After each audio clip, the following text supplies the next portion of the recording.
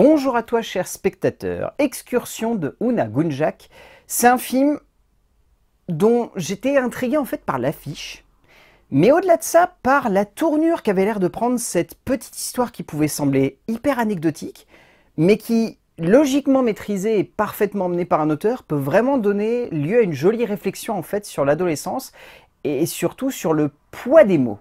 Le résumé pour faire simple, Iman est une jeune fille peu sûre d'elle, un peu renfermée mais surtout qui semble ne pas vouloir faire de vagues. Un jour, alors qu'elle fait un jeu d'action-vérité avec sa classe, celle-ci va assumer une révélation fausse pour que l'on commence à la regarder.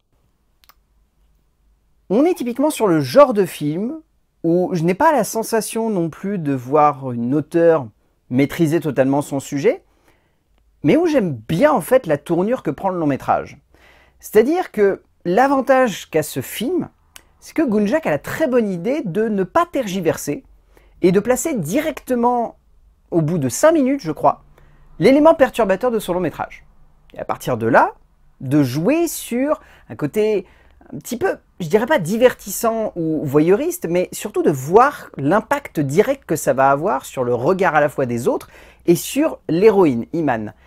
Et l'idée est intéressante, le sujet n'est pas complètement maîtrisé. Je trouve que par moments, on a un peu l'impression que la cinéaste se perd et n'arrive pas pleinement à emmener son film dans la meilleure direction possible. On a parfois l'impression qu'elle veut vraiment se limiter à juste une chronique adolescente et par moments carrément à une chronique culturelle sur son pays où elle veut vraiment nous montrer l'impact du regard des autres lorsqu'on choisit d'aller dans une direction où on assume une identité ou en tout cas une avance sur son temps qui peut gêner. J'ai un peu du mal à vraiment cerner le propos final du métrage, mais en tout cas, je trouve que d'un point de vue chronique adolescente, ça fonctionne très très bien, parce qu'il y a une vraie attache à l'héroïne, il y a une vraie envie de questionner à la fois le point de vue et le regard des autres, mais en même temps aussi le regard sur soi l'impact que ça peut avoir sur notre propre regard à la fois sur l'identité que l'on se crée et aussi sur l'impact que ça a par rapport aux autres.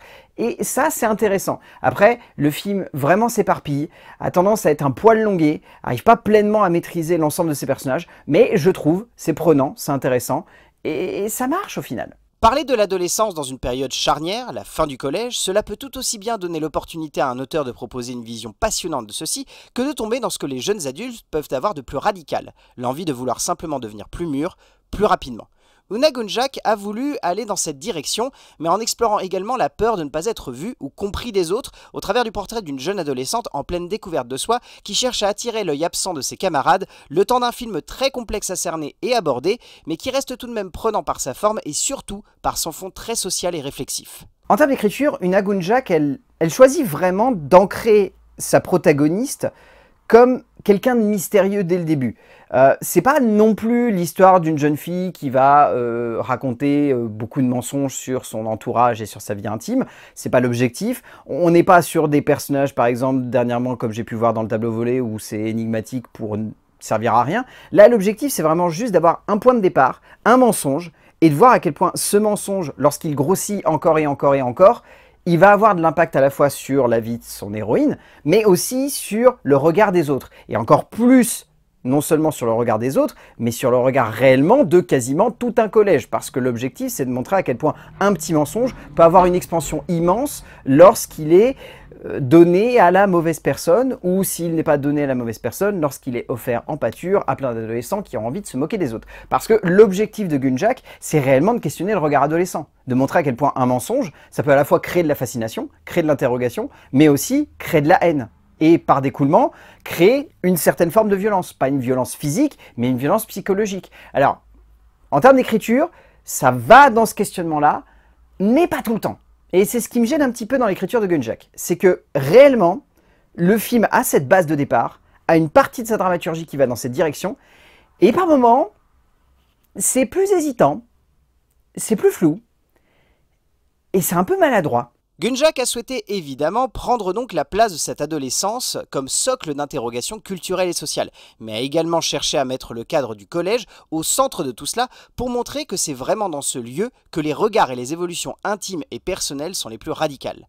La scénariste croate et bosniaque a donc souhaité mettre en avant le cadre scolaire comme reflet du regard de l'intimité adolescente dans un contexte où celle-ci est souvent mise dans la lumière des projecteurs, mais reste tout de même un tabou évident pour de nombreux cinéastes, laissant alors beaucoup de portes ouvertes à du spectateur, voire comme évoqué avant, un petit peu trop. En termes de mise en scène, on sent que la cinéaste a voulu essayer le plus possible d'accrocher le spectateur au réel de cette situation. C'est-à-dire que je trouve que la mise en scène est très sobre. Mais genre vraiment d'une immense sobriété. Il n'y a pas de composition musicale par-dessus le film, c'est souvent très proche des personnages, donc on n'est pas loin du documentaire, c'est pas non plus un documentaire, mais par exemple, il y a très peu de montage. C'est un film qui m'a beaucoup surpris par cet aspect-là. Il y a une envie d'être le plus sobre possible, de certes avoir des mouvements de caméra, de certes jouer beaucoup sur la mise en place d'une situation et de ne pas trop partir en live, c'est-à-dire vraiment d'avoir un ou deux plans qui permettent d'avoir des raccords, mais c'est tout. Sinon, il y a des scènes qui carrément sont des fois en un seul plan et il n'y a pas besoin d'en faire plus. Et surtout, c'est ce que j'ai bien aimé, c'est que elle ne va pas trop souvent chercher le gros plan, ce qui pourrait amener une émotion maladroite. Et par découlement, créer une espèce d'empathie qui, par moments, fonctionnerait et par d'autres sonne comme du lacrymal ou du lourdingue. Et je trouve ça intéressant parce qu'elle a un vrai recul qui permet à la fois de cerner la réaction d'Iman par rapport aux situations, mais aussi de montrer l'entourage et de montrer à quel point ses paroles vont avoir un impact direct sur ses proches. Et je trouve que c'est assez intéressant parce que ça donne lieu par exemple à des séquences de fêtes qui sont très fortes émotionnellement sans que la cinéaste ait besoin d'en faire des caisses. Et cette partie-là, pour le coup, elle est vraiment maîtrisée. Après, le film est un poil long.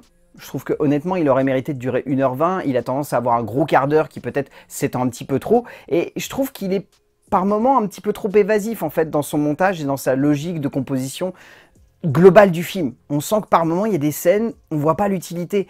Peut-être après on arrive à remettre en perspective, mais il y a des moments où on se sent peut-être un poil perdu devant le long métrage. En rapprochant ainsi son regard du plus crédible possible, Gunjak souhaite clairement donner à sa chronique adolescente le plus d'intensité et de réalisme possible, pour ainsi emporter le spectateur dans un moment de cinéma aussi surprenant que finalement très à fleur de peau d'un point de vue émotionnel. On se retrouve alors devant un objet que la réalisatrice veut tellement rendre concret et crédible que par moments on frise la caricature du regard trop naturaliste et pas assez cinématographique, ce qui peut clairement perturber les spectateurs et laisser certains d'entre eux sur le banc de touche, ne parvenant pas à s'immerger dans ce qui finalement devient cliché et peu crédible on connaît tout cela. En termes de casting, celui-ci est vraiment bon. Et pourtant, au début, j'ai eu quelques craintes parce que je trouvais qu'il y avait certains interprètes qui étaient un petit peu en sous-régime. Mais par exemple, je trouve que Nada Spao, dans le rôle d'Anna, la meilleure amie de Iman, elle est excellente. Elle interprète très bien cette héroïne et elle arrive aussi bien à la rendre attachante que parfois un peu détestable. comme le sont malheureusement certains amis lorsqu'on est au collège. Euh, Maja Istebekovic est vraiment bien aussi.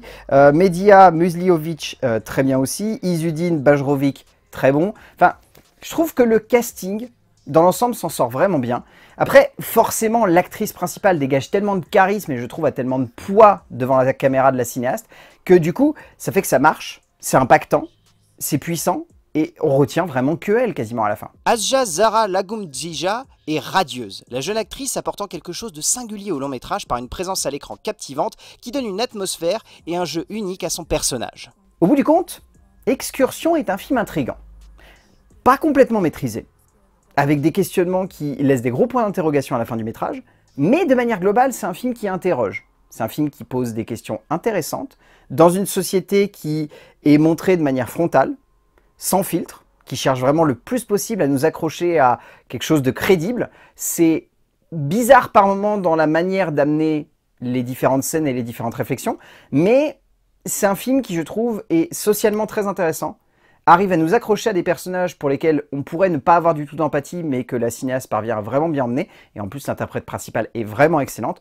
Donc Excursion de Una Gunjak, si vous avez l'occasion de le voir en salle, allez-y. Le sujet reste très intéressant, même si pour autant c'est pas parfaitement maîtrisé, et ça reste tout de même visuellement très prenant comme film. A plus